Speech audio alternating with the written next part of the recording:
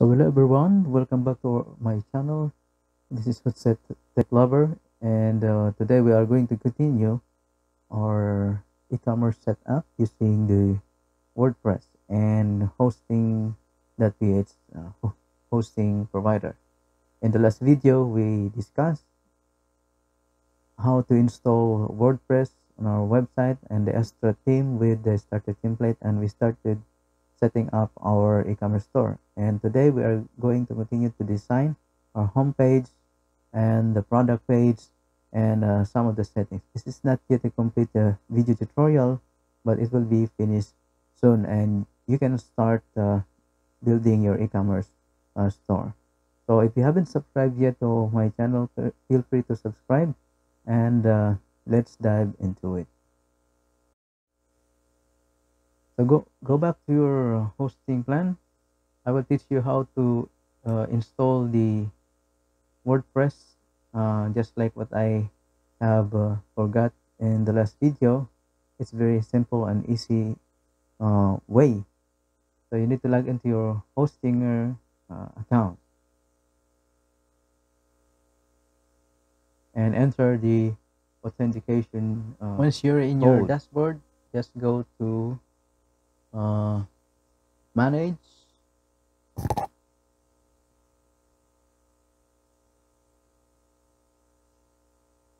and then select the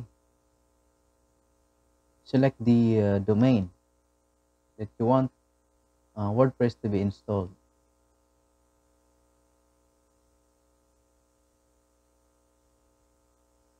So go, uh, punta lang kayo sa baba, sa ilalim. And hanapin ang auto installer.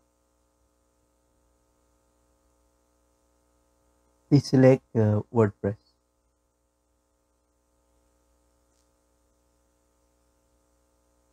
And then enter your site name and then your administrator setting.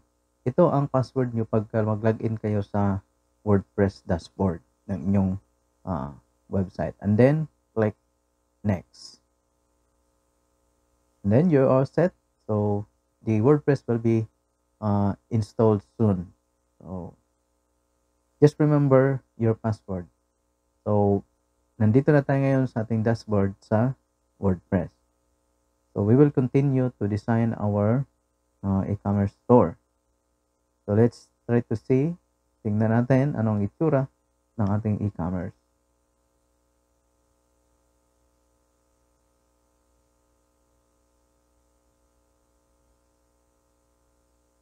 So, meron tayong dapat baguhin. Itong ating logo. So, ed edit with Elementor. Click edit with Elementor. We will edit the home page of our website.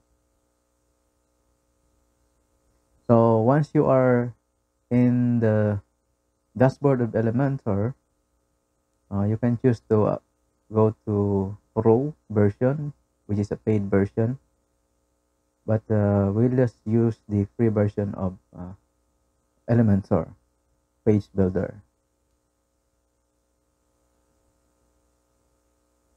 As you can see uh, our site is looking better.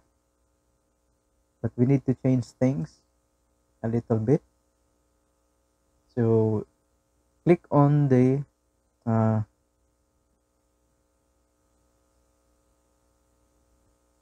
yeah change it to full width?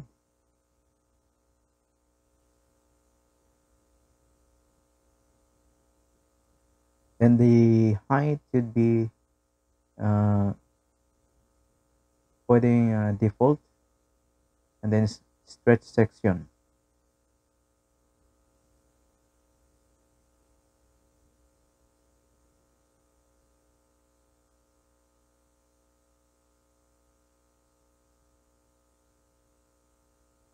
play around with this.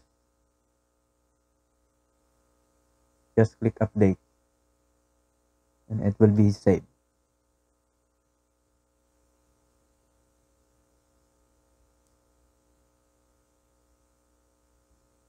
You go to style.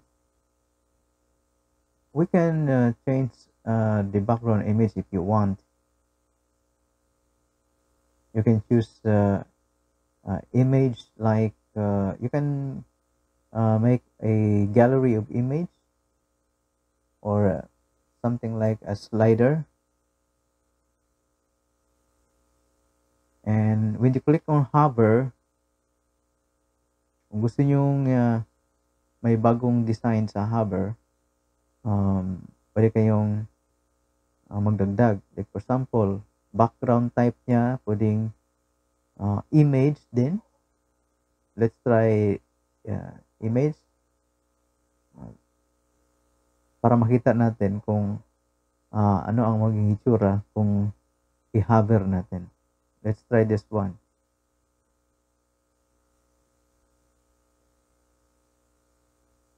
Just insert mid media. Okay so that's it. When you click on the image on the home page that image will appear right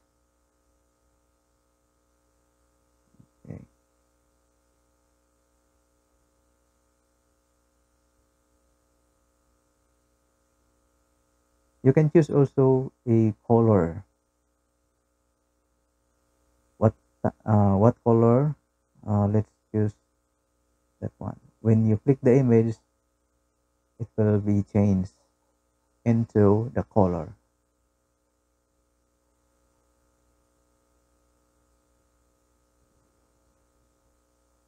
I think I think uh, ayun pwede nating uh, gumawa ng slideshow uh, slideshow pala.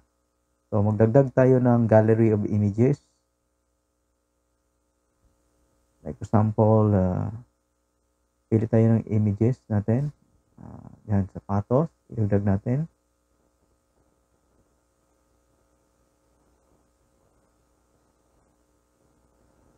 So pwede natin iset kung ilang segundo ang timer ng slideshow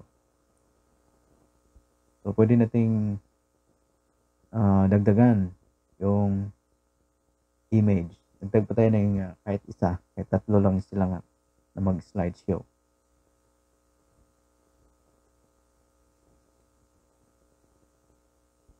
Yan. So, meron ng tatlong image. Alright. So, just click update.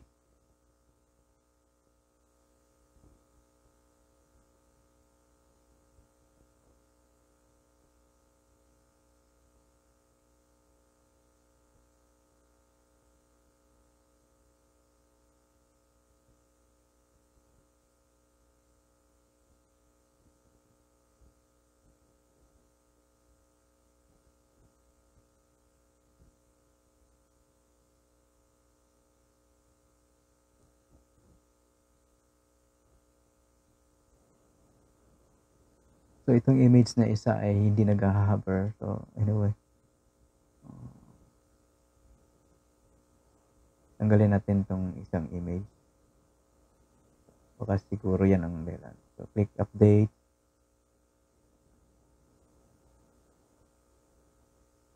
Go to advanced. Sa advanced, makita natin yung mga margin. Margin sa taas, sa gilid, left and right, at sa ilalim. Just unlink. Para sa top i-try natin ngayon bumababa siya konti? Kapag uh, dinagdagan natin ng margin sa taas. Pag sa bottom naman binawasan natin. So sa taas naman siya. So just play this around kung ano ang inyong gusto. Sa padding naman yung space uh, dito sa gilid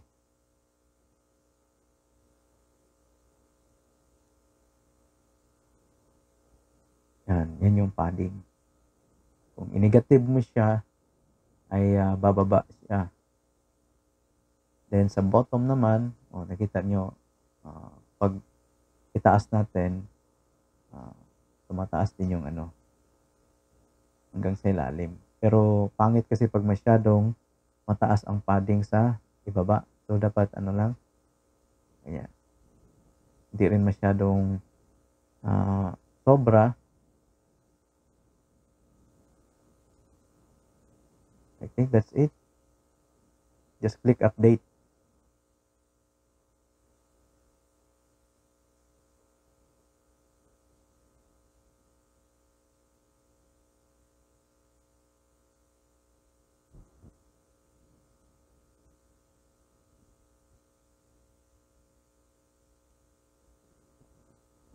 We need to change uh, the text or for now para para sa akin okay na ang ano ang text. Ang link niya, halimbawa yung shop now, ililink natin siya sa ating shop page. So punta tayo sa ating store bytocart.com Then, i-click mo ang store page.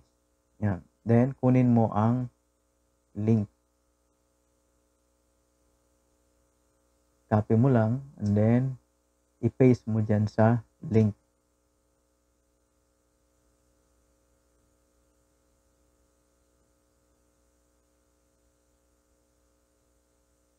Ah, sa title pala yun. Ah, hindi pala sa button.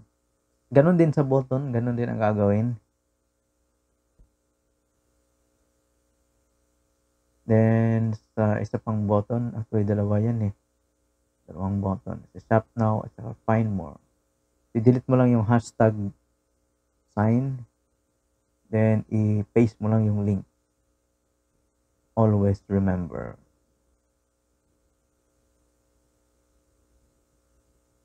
Pwede rin hashtag plus uh, hashtag then type mo shop.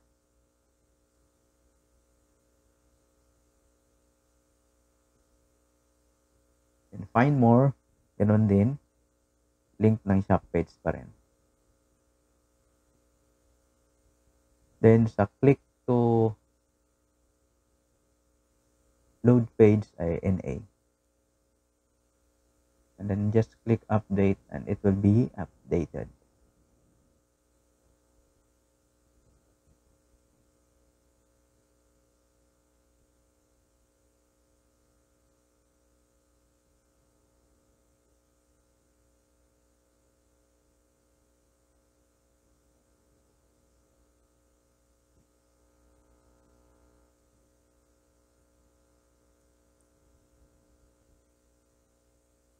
So,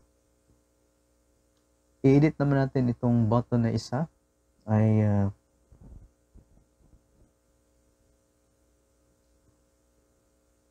bigyan natin sila ng konting space about isa. Dahil sobrang lapit nila.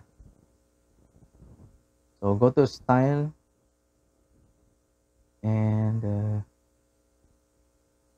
lagyan natin ng I think uh, it's uh, padding mata.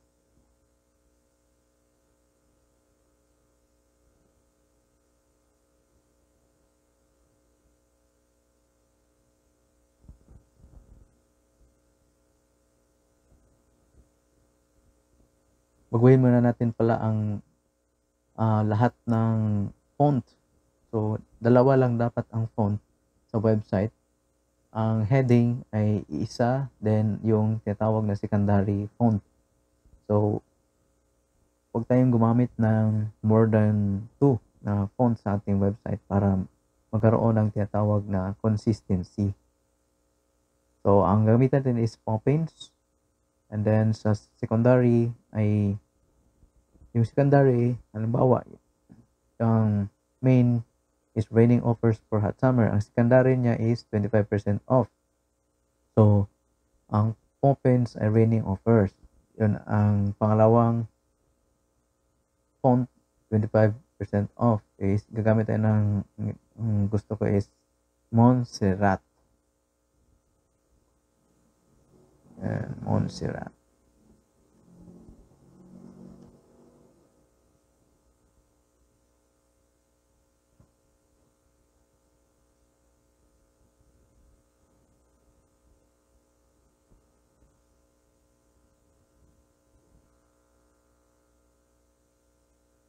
Once you're done, just click on publish.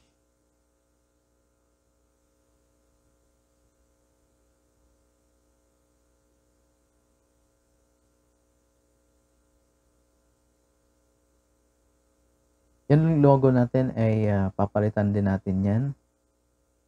Uh, gagawa lang ako siguro ng separate na tutorial about the Canva para palitan natin ang ating logo.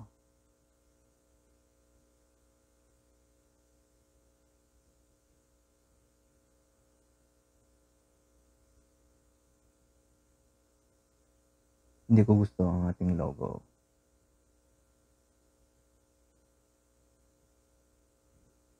So, hindi makikita yung logo, yung buy to cart pagka doon sa store page kasi iba ang kulay doon sa heading. Dito naman ay iba. So, hindi siya makikita. So, just go to customize and go to site identity and site logo. So, design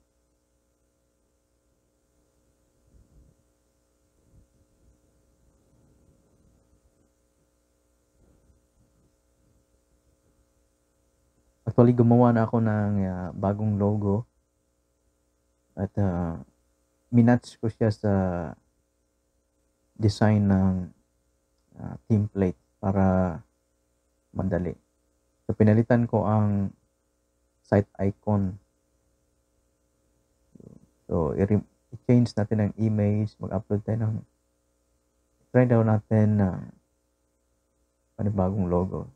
Still not very good. So, hindi pa rin maganda. So, masyadong malaki. Pwede natin paliitan. Pero hindi pa rin siya makikita, no?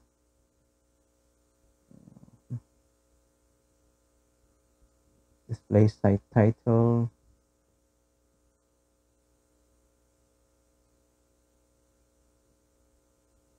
Inline logo with text medyo okay pero hindi pa rin ako kontento sa ating logo. Pwede kayo magpa-design sa mga designers ng logo na maganda. But if uh, gusto nyo ng sarili nyo, pwede nyo rin na uh, i-design sa Canva.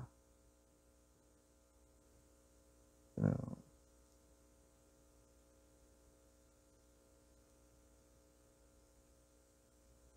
bago ang kulay.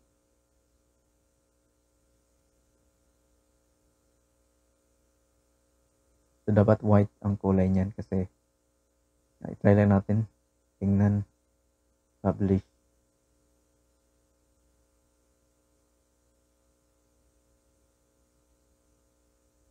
Okay. Let's go back to our site and see. Okay, so ito ang ating site. Hindi pa rin maganda, no? Nandun yung isa. Tanggalin natin yun. Go back to Elementor.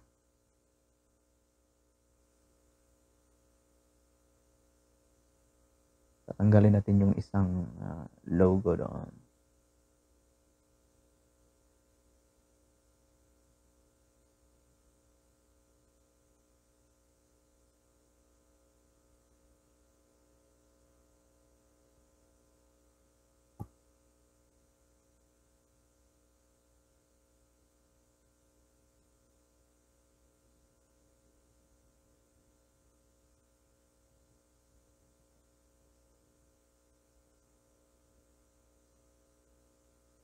Tanggalin natin yung isang ano na yan buy to cart but na hindi pa rin natatanggal yan.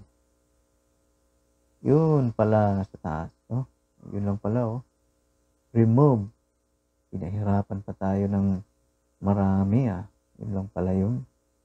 Actually for, uh, for me guys this is a learning experience for me. Kasi nga ay uh, itong Astra hindi ito ang ginagamit ko na theme.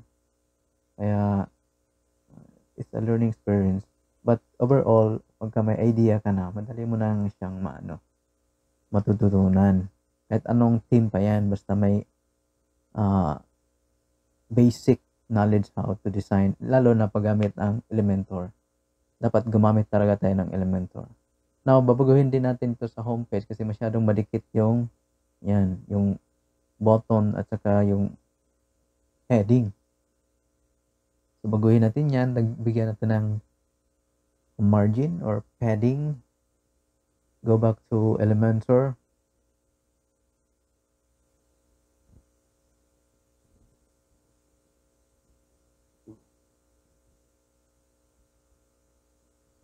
I-click nyo lang yung heading. Go to style and then or go to advanced i-unlink muna ang padding. Nabago ang kulay.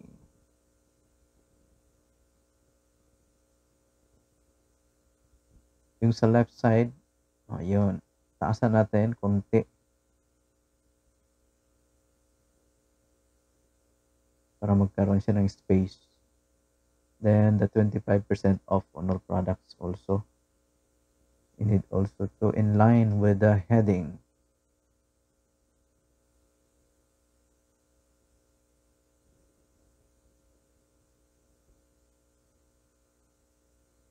Okay, yes, I think that's enough. And the button.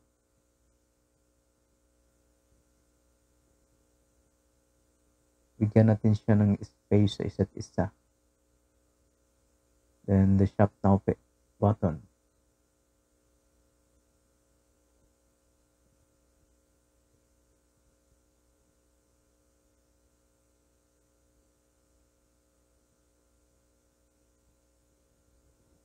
I think that's it.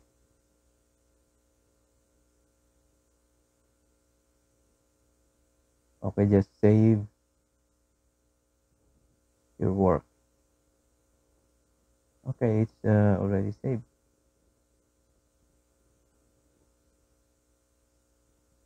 Ba't nabago ang kanyang uh, text color? Punta tayo sa style at pagawin natin yung secondary niya na text color. Dapat ay white.